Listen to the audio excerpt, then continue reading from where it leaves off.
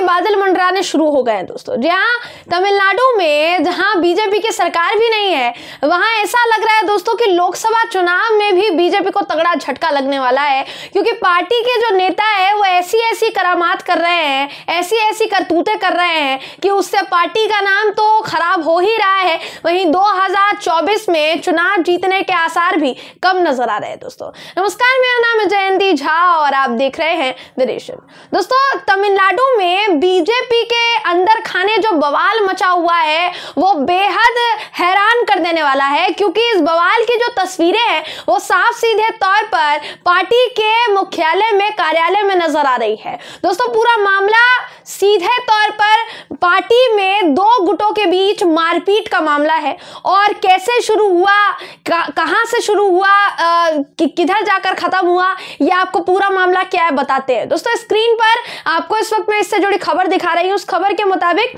BJP के अंदर खाने गुटबाजी चल रही है, पहली बात तो और भाजपा गुटों के बीच पार्टी पदों को लेकर विवाद चल रहा है। ये तब दिखाई दिया जब भाजपा नेताओं के दो गुटों ने एक दूसरे पर कुर्सियाँ फेंकनी शुरू कर दी। जी हाँ तमिलनाडु बीजेपी की एक बैठक चल रही थी, और बैठक के बीच में हुआ ये कि दो गुट आपस में भिड़ गए, और इतना ज़्यादा भिड़ गए कि एक दूसरे पर कुर्सियाँ फेंकी जानी शुरू हो गई। मामला इतना ज़्यादा खराब हो गया कि झड़प जो है, वो थमने का नाम ही नहीं ले रही थी। दोस्तों, पूरा मामला क्या है, वो मैं आपको बताऊँगी आगे, लेकिन उससे पहले इस कुर्सी फेंकने वाले कार्यक्रम का वीडियो आपको दिखा देते हैं। उसके बाद पूरा मामला तफ्तीश से आपको बताएँगे, जानकारी आपको बताएँगे, लेकिन उससे पहले आप ये वीडियो देखिए दोस्तों, जहाँ बीजेपी के दो गुटों के नेता एक दूसरे पर ही कुर्सियाँ फेंकते हुए नज़र आ रहे हैं। ये वीडियो देखिए दोस्तों आप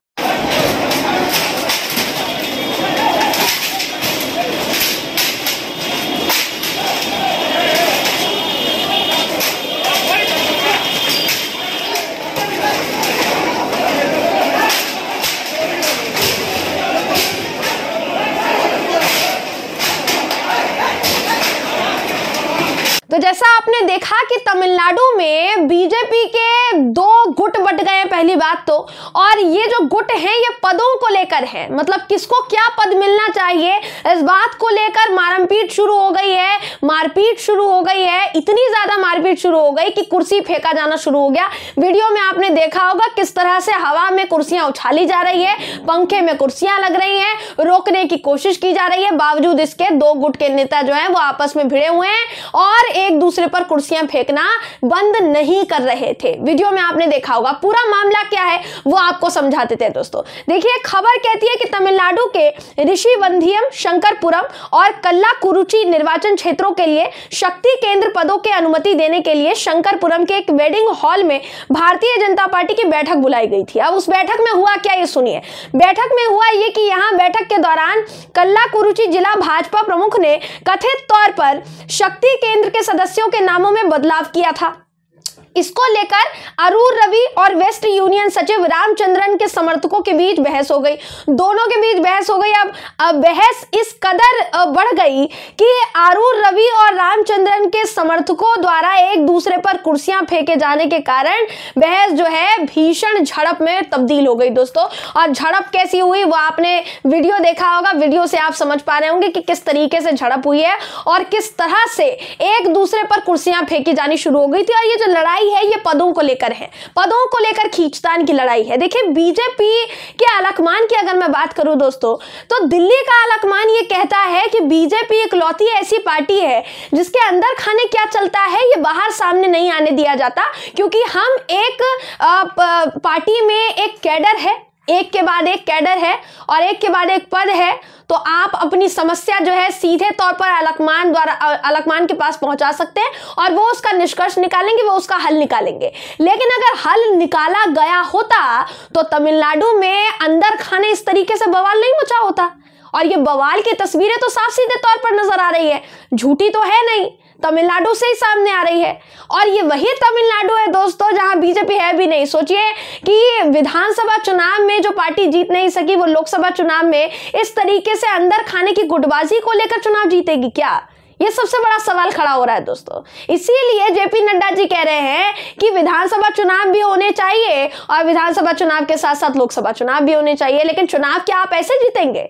इस तरह से जीतेंगे जहाँ आपके आपके अपने नेता एक दूसरे पर कुर्सियों से वार कर रहे हैं। सबसे बड़ी बात है दोस्तों कि तमिलनाडु में 2024 में बीजेपी को झटका लग सकता है। इस बात का अंदेशा सिर्फ़ और सिर्फ़ इस वीडियो के बाद नहीं लगाया जा रहा है। इस बात का अंदेशा इससे पहले भी लगाया गया जब बीजेपी को एक महिला नेत्री ने झटका दिया, जो कि 2014 से लेकर अब तक पार्टी में बनी हुई थी, लेकिन 2022 में उनको निलंबित किया गया और उसके बाद जब वो पार्टी से निकली है तो उन्होंने पार्टी के प्रदेश अध्यक्ष पर बहुत गंभीर आरोप लगाए हैं। दोस्तों, इस वक्त मैं आपकी स्क्रीन पर आपको उन्हीं नेत्री से जुड़ी खबर दिखा रही हूँ, जिस खबर के मुताबिक जिन नेत्री ने पार्टी छोड़ी, उनका नाम गायत्री बताया जा रहा है, गायत्री रघुराम। जी हाँ दोस्तों, गायत्री रघुराम उनका नाम बताया जा रहा है, जो कि सीधे तौर पर बताई जा रही है कि महिला नेत्री थी और उनको सांस्कृतिक शाखा का प्रमुख भी मनाया गया था। तमिलनाडु बीजेपी को इससे पहले झटका लग चुका है, बीजेपी की महिला नेता ने पार्टी छोड़ी थी। साथ ही पार्टी के प्रदेश अध्यक्ष अन्ना मलाई पर उन्होंने गंभीर आरोप लगाए। तमिलनाडु से बीजेपी नेता रघुराम, गायत्री रघुराम, उन्होंने पार्टी छोड़ी। और साथ ही आरोप लगाया कि बीजेपी में महिलाओं का सम्मान बिल्कुल नहीं होता है। गायत्री रघुराम पार्टी की सांस्कृतिक शाखा की प्रमुख थी, जैसा मैंने आपको बताया दोस्तों। अब उन्होंने क्या और आरोप लगाया था, ये भी सुनिए। गायत्री रघुराम ने इसे लेकर ट्वीट किया था बाकायदा। और ट्वीट में उन्होंने कहा था कि मैंने भारी मन से तमिलनाडु बीजेपी से इस्तीफा देने का फैसला लिया है। क्योंकि महिलाओं को अपनी बात रखने का अधिकार अक्सर और समान अधिकार और सम्मान नहीं दिया जाता है पार्टी में। अन्ना मलाई के नेतृत्व में महिला सुरक्षित नहीं है। उन्होंने पार्टी के प्रदेश अध्यक्ष अन्ना मलाई पर आरोप लगाया था।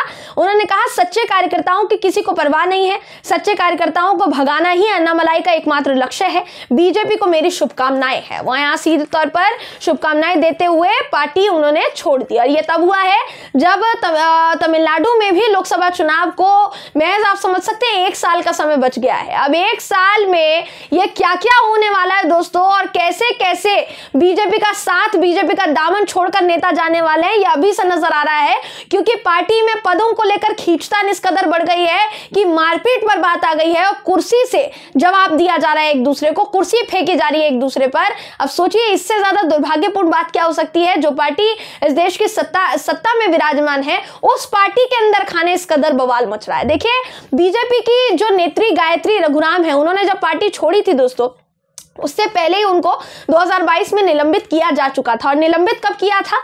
निलंबित उनको किया था तब जब बीजेपी नेता त्रिची सूर्या द्वारा एक महिला सहयोगी के खिलाफ असंसदीय भाषा का इस्तेमाल किया गया था, जिस पर गायत्री रघुराम ने विरोध जताया था और उन्हें पार्टी को बदनाम करने वाली गतिविधियों में शामिल होने का आरोप लगाते हुए छह महीने के लिए पार्टी ने निलंबित कर दिया था, जिसके बाद अब उन्होंने पार्टी छोड़ दी है।